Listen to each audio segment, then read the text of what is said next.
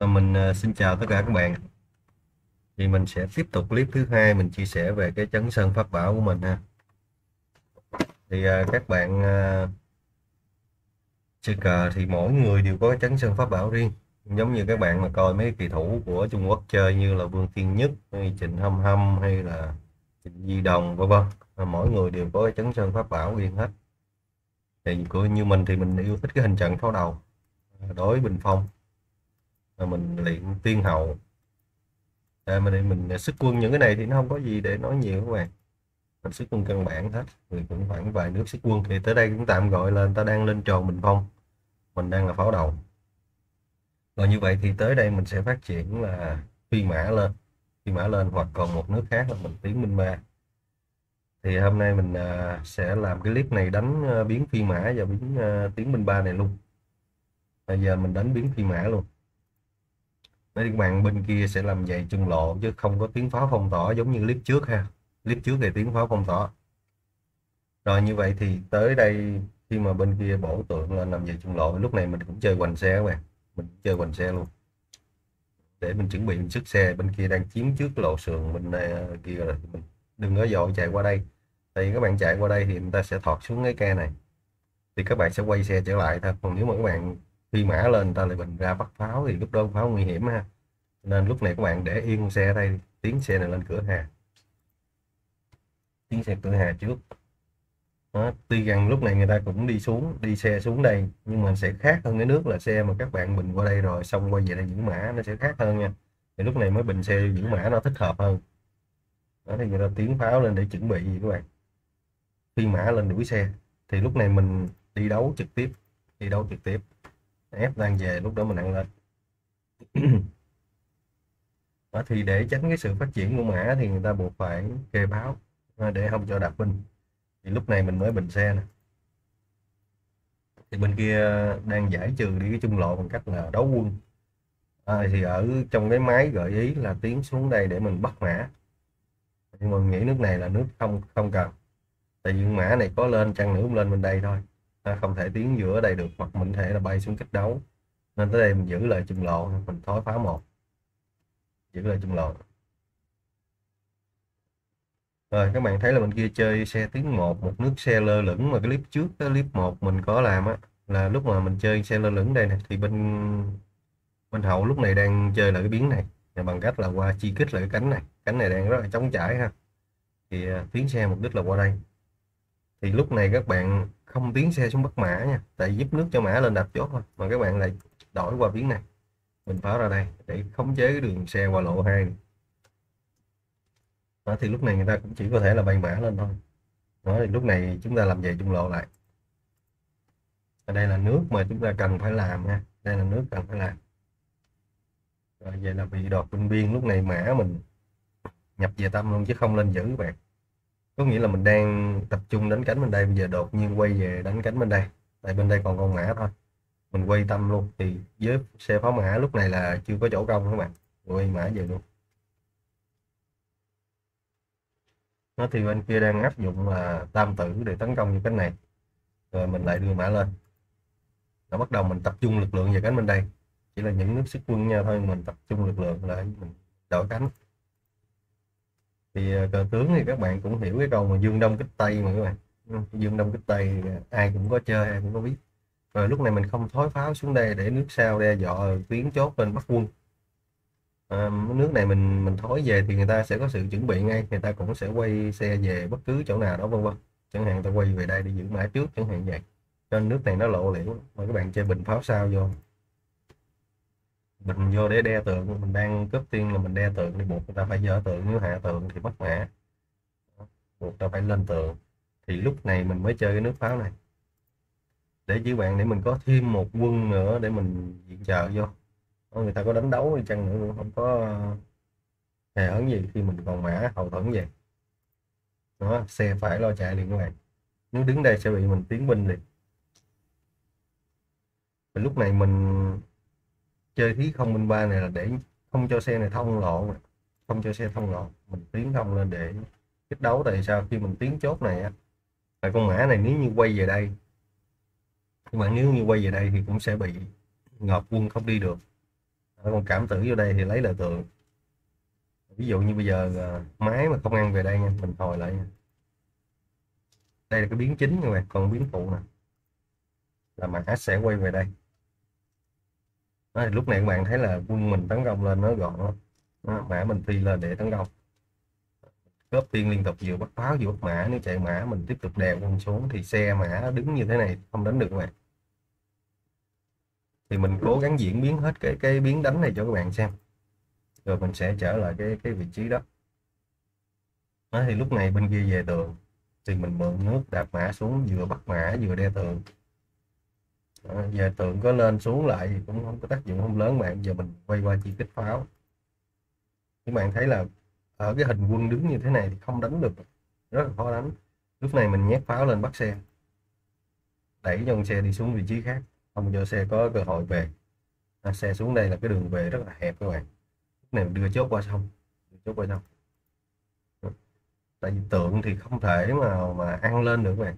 Này, nếu mà tượng ăn lên mình tiến xe bắt pháo gãy tượng liền à, rất là dễ gãy tượng. Nên là tượng ta không lên mà chạy pháo.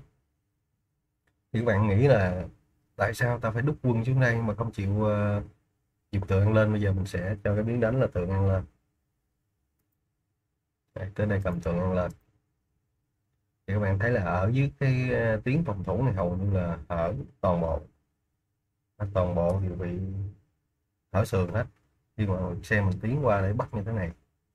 Ờ, rồi ví dụ như bây giờ mình mình không tiến bắt con mã này thì mình cũng thể bình qua bắt pháo nhưng nếu bạn bình qua bắt pháo lúc này á thì sẽ bị xe chém voi. Chém voi ăn về chốt bắt được pháo này cho nên cái biến này mình không sử dụng được. Còn mình tiến lên đây bắt pháo trước á, thì con mã này vẫn còn linh hoạt nên đuổi mã rồi quay về bắt pháo nó sẽ hay ngờ. Nó đuổi mã trước. Cho mã này mắc căng bạn tại không có tượng thì pháo không quay về đuổi xe được. Nên là mã này buộc phải chạy. Các bạn thấy lúc này mình có thể tấn công bằng pháo à? Về sĩ bổ lên thì các bạn thấy là nguy hiểm cực kỳ chứ mình bình xe ra là nguy hiểm cực kỳ chứ với cái thế mà tứ tử này thì các bạn thấy là để chống đỡ qua con trăng này rất là khó. Ăn chỉ một chốt nhưng mà bỏ là thế công quá là mạnh. Bây giờ mới phi mã xuống mở đường cho xe về phòng thủ lúc này không kịp nữa các bạn. Mình tạt pháo ra là không không có thể nào kịp nữa. Nhiều quân phòng thủ là không kịp rồi, lúc này ra pháo bắt mã nữa, các bạn thấy không có cách nào để mà phòng thủ nổi với hình cờ này đừng dùng pháo ăn xuống rồi, dùng mã ăn xuống cũng không lệch pháo ra nữa, dùng mã ăn xuống rồi. ở thế thứ tử này các bạn, mình nghĩ là ai cũng thể đánh thắng được cái hình cờ này rồi. Rồi mình trở lại cái biến chính ha. Mình à, trở lại cái đoạn rồi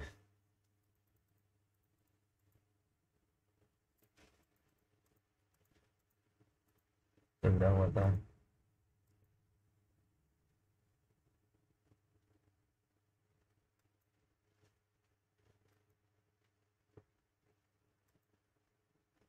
À, từ đây từ đây tức là hồi nãy là mình đang nói về con mã quay về đây là cái cái hậu quả của hình nó sẽ như vậy. Còn nếu như mã đạt về chốt tại vì ờ, không thể lấy chốt ăn xuống được pháo mình đang bắt mã mà thì mã đạt về chốt thì ăn lại được voi. À, cái này chỉ lấy là được voi thôi. Nhưng mà mình đừng dùng voi ăn lên dội như thế này. Cái này là máy đánh thôi nha các bạn. Mình là nên chơi nước này tiến xe lên kìm đây. Đó thì xe này bỏ chạy trên này bỏ chạy thì mã này đang trong cái đường gọi là rất khó đi các bạn. Về thì về đây thôi. Lúc này mình bổ nhẹ sĩ lên là đang trực tiếp bắt mã này. đang trực tiếp bắt mã này. thì trước khi bắt thì người ta không chạy pháo này, mình sẽ phi mã để bắt pháo, rồi sau đó nó là ăn mã. Con pháo mới chạy trước xuống đây để mục đích là thoát khỏi đó, nhưng mà bây giờ mình lại chơi nước là thói pháo. Thói pháo một. Thói pháo một đang trực tiếp bắt mã nữa. Đang trực tiếp bắt mã mà cũng đang ờ, đe dọa là phi mã lên bắt pháo, bắt đôi nữa đó, giờ xe phải quay về để phòng thủ. Tiếp tục phòng thủ trong mã này. Lúc này mình mới ăn mã. Còn nếu như nãy xe không về đây, mình mình sẽ phi mã lên đây. Dùng mã bắt pháo, dùng pháo bắt xe. Đó. thì lúc đó còn nguy ngập hơn nhiều. Rồi tới đây là mình ăn mã được ha thì lúc này người ta được một chốt qua sông, nhưng ngược lại là ta lỗ điện mã. Lúc này mình vừa chạy xe vừa đuổi pháo. Ở tới đây là các bạn thấy là hình cờ mình đợi. Chiếm ưu nữa ha tiến xuống bắt mã tiếp. Thì mã lại quay về các bạn thấy hình cờ hoàn toàn bị đè lép về hết luôn. Mình chạy thì bên, bên kia chỉ có thể đi lòng vòng lòng vòng thôi chứ không có cách nào mà tại vì di chuyển về trên trục đường này cũng không còn à, nhiều đường để mà di chuyển vậy tại vì mình có nước bình xe ra là tiến xuống bắc mã cũng sẽ chết phá thôi. Ở đây mình vẫn tiến chiếu thì cái thế mà tứ tử của mình nó vẫn hình thành được các bạn. Nó vẫn hình thành được. Và lúc này đừng tiến xe một nha bình xe ra đây nè. Đừng tiến một nha các bạn nó bình xe ra và tới đây các bạn theo các bạn thì à, đỡ nút cờ này được bao lâu? Với cái hình cờ mà chúng ta biết đánh cờ thì tới đây các bạn thấy là không chống đỡ được bao lâu nữa hết. À, xe về bắt mã lúc này bỏ yên nha tạt báo ra tại xe ăn mã sẽ bị chiếu giật liền. Bị chiếu giật liền. Đó, giờ người ta chỉ có thể đi chốt thôi. Chốt lúc này thì mình tiến chiếu. Tiến chiếu trước. Ép sĩ quay về sau đó mình mới thối một để đè chân mã lại lúc này tượng lại quay về. Các bạn thể đạp tượng trên, dùng mã đạp tượng trên. Nước sau bay chiếu là pháo phía sau mình phóng lên nữa thì sẽ thua ngay. Hoặc các bạn thể chọn nước là tiến sĩ đây bác sĩ. Cũng là một nước đánh để quay đầu về chiếu. Và tới đây mình trực tiếp ăn mã. Ăn mã về thì cho nhanh. Để đánh gãy đi một tượng. Và xe vô đây bên kia đang bị thế kèm cặp ha. Lúc này mình quay mã xuống hoặc các bạn có thể là thảy mã ngay miệng hầm cũng được. Nhưng mà thông thường đánh an toàn thì chúng ta quay mã về. À, thứ nhất là dùng mã bắt pháo thứ hai là dùng pháo bắt xe. Nếu người ta chạy thì mã mình lại có chân đánh rất là tốt. Mã mình có chân đánh rất là tốt. Thì tới đây mình phóng thẳng xuống ăn voi luôn. Ép sang về. Các bạn thấy chỉ duy nhất nước sang về thôi.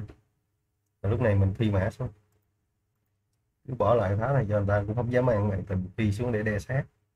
Mình kia chống sĩ mình chỉ ăn xe vô. Thôi ăn xe vô tướng sức ra các bạn quan mã xuống đây thì không có quân nào đỡ được. Bạn quăng lên về đây cũng được hoặc xuống đây cũng được thì tới đây ta muốn làm gì phải xử lý pháo này. Các bạn ví dụ về đây cũng được. Khi tôi lệch xe các bạn chỉ quý thôi. Rồi mình sẽ trở lại một quán mới cho các bạn xem. Thì uh, tại sao mình nói là cái chấn xương pháp bảo tức là khi mà các bạn luyện một cái hình cờ mà đến mức từng thục à, là các bạn gặp biến nào các bạn cũng thể ứng phó được. Cái đó gọi là cái chấn sơn của mình. Cái này là của riêng mình nha chứ mình hợp mình chưa nói là cái này mình sẽ đánh thắng mọi người nha. Mà chỉ là cái hình này mình luyện đã rất là kỹ rồi. Hôm nay mình lại chia sẻ cái hình này lên. À, cốt yếu của mình cũng chỉ là để mang tính chất chia sẻ tham khảo thôi nha các bạn. Các bạn đừng có hiểu lầm cái chỗ là mình nói chấn sơn pháp bảo của mình là gặp ai mình đánh cũng thắng là điều đó không đúng nha. Cái đó là mình phải đính chính trước. Rồi cái trường hợp này à, nó lại là một trường hợp khác. À, tức là lúc đầu người ta phi mã lên đây là để giống như hình thành cái bình phong nhưng khi mình tiến bình bảy mình tiến bình bảy lên người ta lại chuyển hướng lại là đánh pháo đầu. Chuyển hướng đánh pháo đầu. À, thì các bạn thấy là đây cũng là một cái nước biến mới nước biến mới. Có nghĩa là để phản ngược lại cái hình cong thay vì bình phong thì ta phản ngược lại. Rồi như vậy thì tới đây mình vẫn à, nếu mà cái, cái trường hợp này thì mình vẫn à, đưa mã lên ở cánh này chứ đừng có bình pháo vào. À, mình đưa mã lên đây tạo thành cái hình đôi công giữa pháo đầu cái này đôi công giữa pháo đầu cái này thêm xe Dạ, ở những nước xuất quân này thì nói uh, các bạn có lẽ là thành phục muốn hết rồi. Lúc này buộc phải chơi mã bằng hà rồi vậy tại vì mình không chơi mã bằng hà sẽ không kịp do xe này mình chưa sức động được. Bây giờ mình sức động xe. Rồi bên kia chơi xe hoành xe trực rồi lúc này mình tiến xe qua hà ha. Tiến xe qua để đe dọa con chốt này trực tiếp. Rồi lúc này mình uh, không nên ăn vào chốt mà nên quay xe giữ mã. Nên quay xe giữ mã. Không nên ăn chốt đấu quân rồi các bạn lưu ý nước này nha. Nếu mình bỏ chạy vậy ra thì rất nguy hiểm nha. Tại vì cặp, cặp sông xe này rất là nguy hiểm. Và nếu mình quay về đây sẽ bị xe tiến xuống hai nước đe đe, đe dọa tiếng với nước mà đè mã tiếp tục. Thành ra tới đây buộc phải dân pháo lên giữ mã mình đang đe ngược lại nước sau bình pháo lại bắt đôi. Nó buộc người ta phải chạy đi một xe. Rồi lúc này mình tạt ra để đổi hình liền nha. Đổi hình liền để cho xe di chuyển đi rồi lúc này bổ sĩ tượng rồi lên để cho về trung lộ trước. Mình à, tập trung trung lộ lại.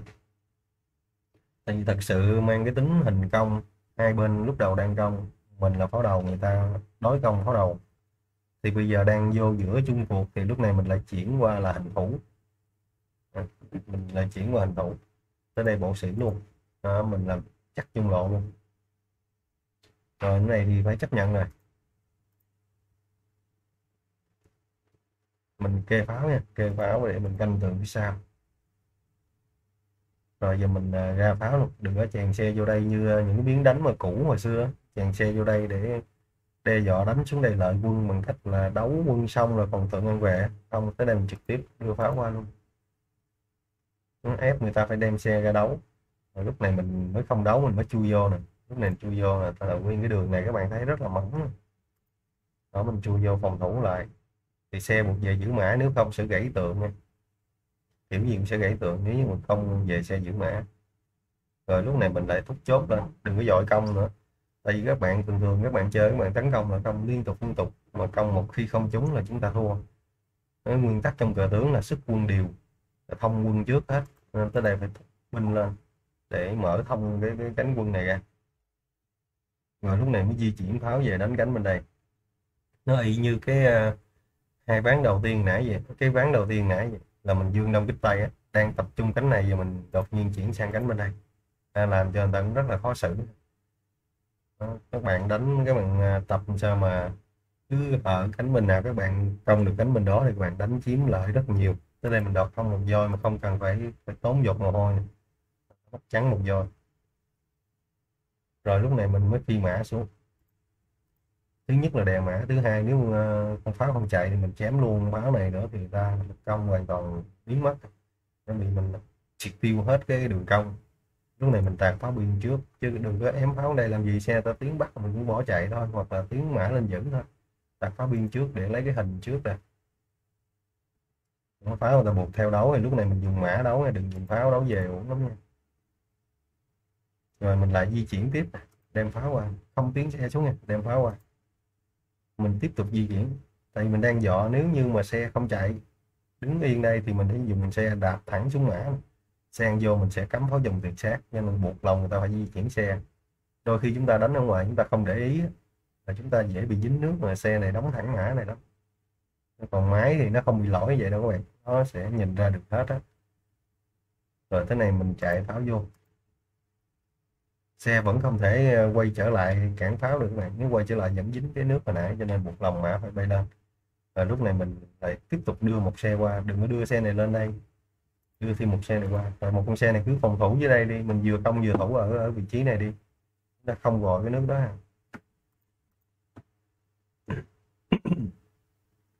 Rồi lúc này mình ra pháo văn nè.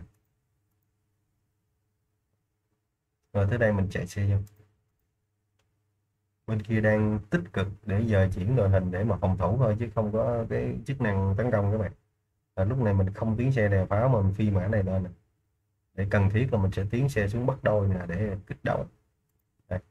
để mình đưa thêm một quân nữa lên để mình tấn công. Bên kia phải bung sĩ tượng ra các bạn thấy là phải bung lên trước để phòng thủ. Lúc này mình phi mã xuống hoặc có thể các bạn chơi nước và tiến xe xuống kích đấu cũng được nhưng mà phi mã xuống đi.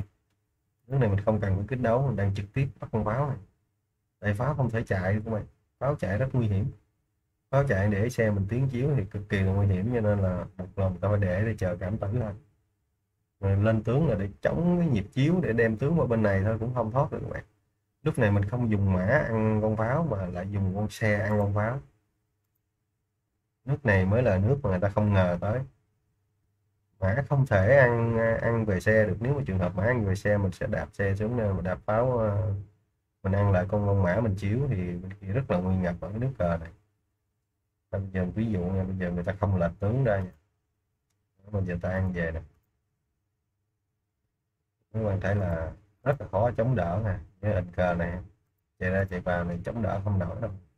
Tới đây một là sẽ cảm tử hai là phải chen xe này vô. À, ví dụ trường hợp cảm tử này mình tại chen vô mất thêm mã này nữa thì cũng đồng nghĩa thua ở vụ cảm tử đây cảm tử nó tiếp tục bị tấn công nữa. Lên thì không thể bạn lên pháo thối chiếu liền. Còn mà thối tướng thì sẽ tiến liền buộc phải qua đây tiếp. Đó, giờ các bạn chống sĩ sập sĩ gì cũng là một nguy cơ lớn rất là lớn. Đó, tới đây các bạn thấy là vô phương chống đỡ ha. Tới đây cho dù đỡ cách nào chăng nữa thì xe này cũng đang gặp nguy hiểm. Tại sao vậy? Người ta đang trực tiếp đe sát. Có nghĩa là thí dụ tới đây mình ăn xe. À, thí dụ tới đây chạy xe. Giờ chẳng hạn chạy xe qua đây đi các bạn thấy chiếu đây là đường đâu mà tướng đi. Tướng thượng lên thì tiền xe hậu pháo đó. Còn nếu mà mình nhìn ra được nước này mà để phòng thủ được nước này, các bạn thấy không có nước để thủ. Giờ mình có đem xe qua đây cảm tử không được, mà tướng lên trước cũng không được, mà sĩ ờ, cũng không thể. Bây giờ chỉ có thể là quay xe về đây. Quay về thì cũng bị chiếu là tướng vẫn là thấy một nước đơn giản nhưng mà thật sự là xe không thể chạy được. Còn chúng ta cầm xe chạy là đồng nghĩa với thua.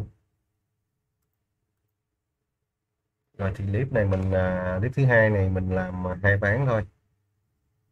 À, mình chia sẻ hai ván thôi tại dài quá chúng ta coi rất rất là dễ chán ha thì cái clip này mình sẽ tạm ngưng ở đây. À, hẹn gặp lại các bạn ở clip thứ ba nếu các bạn thích cái hình trận mà chấn sơn pháp bảo của mình. Thì các bạn có thể tham khảo thử và các bạn có thể à, nghiên cứu ra một hình trận riêng cho chính mình. À, tới đây mình xin chào và tạm biệt các bạn. Chúc các bạn sức khỏe.